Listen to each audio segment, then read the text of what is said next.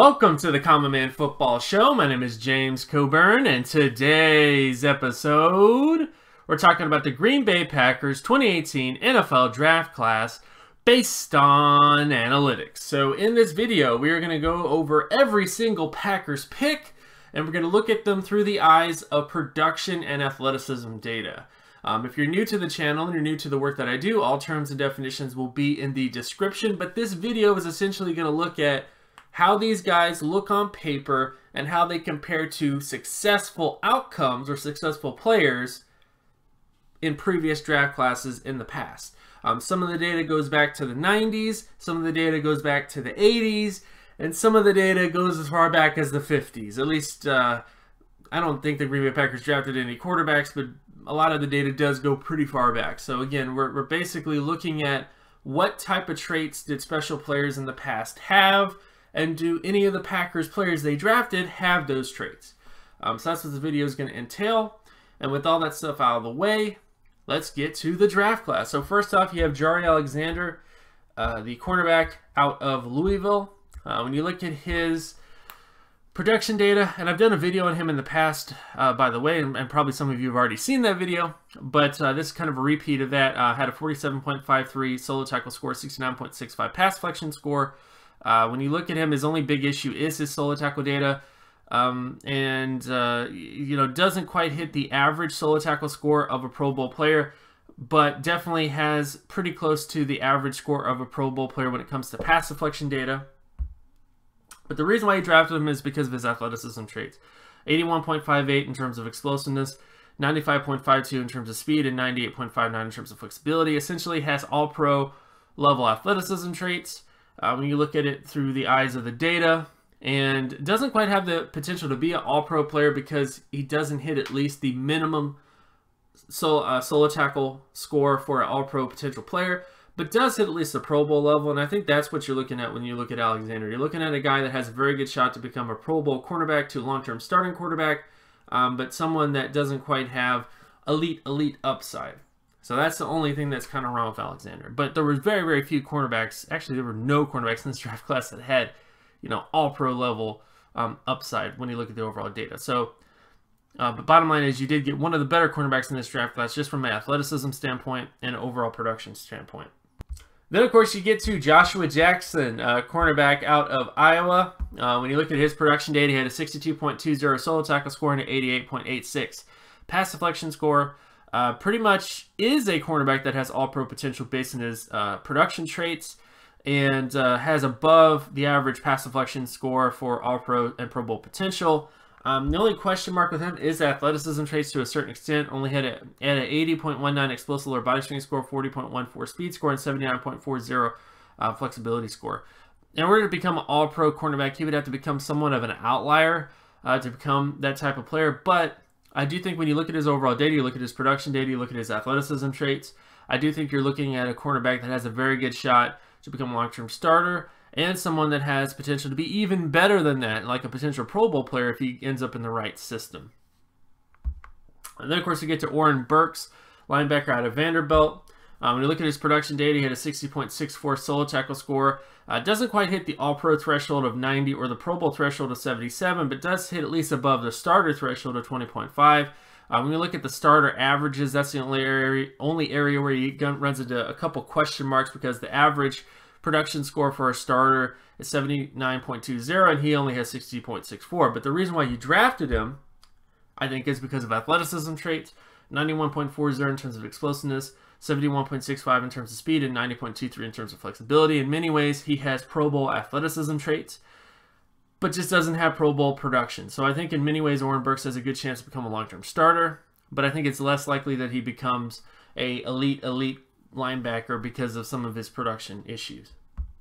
Then, of course, you get to J'Mon Moore, wide receiver out of Missouri.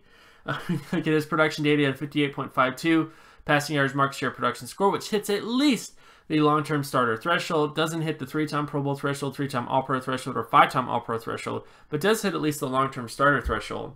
And when you look at the averages at the position, this is the only area where there is some question marks, doesn't quite hit near the average All-Pro score, the average Pro Bowl score, even the average starter score. He's about 20 points away from the average starter score, and this is based since every single wide receiver since the 1969 NFL draft class. So there are some question marks in terms of his uh, production. Then when he gets his athleticism traits, he had a 71.84 explosive score, a 33.06 speed score, and a 17.91 flexibility score. Um, every single multiple All-Pro slash Pro Bowl wide receiver since 1999, at least the vast majority of them, had at least one 54 or higher athleticism trait. J'Mon Moore has one. So in many ways, he does have all pro slash Pro Bowl potential based on his athleticism. It's just his production doesn't quite have all pro slash Pro Bowl potential. I think the best case scenario with J'Mon Moore is that he could become a long term starting wide receiver, but he's not someone that I think has a very good shot of becoming a high quality wide receiver. Then, of course, you get to Cole Madison, offensive guard out of Washington State. When you get to his athleticism traits, he had a 44.81 explosive lower body strength score, 40.59 speed score, and 42.08 flexibility score. Um, does not quite hit the All-Pro threshold or Pro Bowl threshold in terms of athleticism traits, but does hit at least above the starter threshold. The only real issue is when you look at the averages of the position, this is where the problem lies, is that he he's really below average in terms of his athleticism traits. So most All-Pro guards Pro Bowl guards and even starter guards have above average athleticism traits, like significantly above average athleticism traits in certain sets, and Cole Madison is not close to that. So, although Cole Madison has some shot or some ability to potentially become a long term starting guard because he, he didn't hit below the bottom and thresholds at the position, there's still a high unlikelihood that becomes a starter because of just how below average his overall athleticism is. So, we'll see what happens with Cole Madison but it's very likely that he might be at best a backup in terms of his career in, on the uh, Packers. Of course, you get to J.K. Scott, punter out Alabama. Uh, when you look at his punting production score, he had a 98.70 since the 2001 um, college season. So very, very good punter. This is all the data I really have when it comes to punters is just what the production score was. There's other sort of variables that I haven't really tested yet at the position, but at least you know that you're getting a pretty productive punter, and we'll see what happens with him as well. Then, of course, you get to Marquez Scantling Valdes, wide receiver out of South Florida. Um, similar issue to J'Mon Moore, production is hits at least the long-term starter threshold, but when you look at the averages at the position, just really below average. So again, very unlikely that he becomes a long-term starter. He does hit at least the bottom and threshold, so he has somewhat of a shot. But again, you, you typically want wide receivers to have 81. You know, you want him to be in that sort of area in terms of production, and he's just not quite there. Um, but I think the main reason you drafted him, though, is because of athleticism traits. Um, 25.38 in terms of explosiveness, 88.72 in terms of speed, and 81.84 in terms of flexibility for his size. So he is much more athletic than J'Mon Moore. But again, I do think there are some question marks because of his production data. So he could end up becoming a long term starter, but he also could end up becoming just a backup because of his production data. Then, of course, we get to uh, St. Brown, wide receiver out of Notre Dame.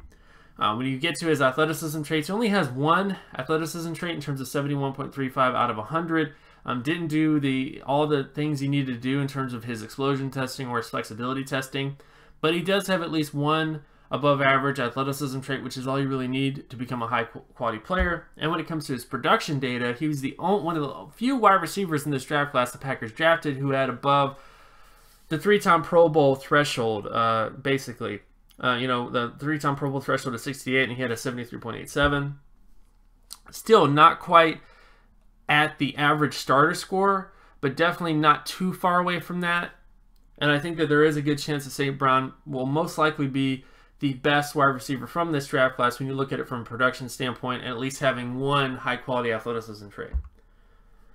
Then, of course, you get to James Looney, defensive tackle out of California. Uh, when you get to his production data, he had a 44.94 solo tackle score, 53.31 sack score, and 81.81 tackle for loss score.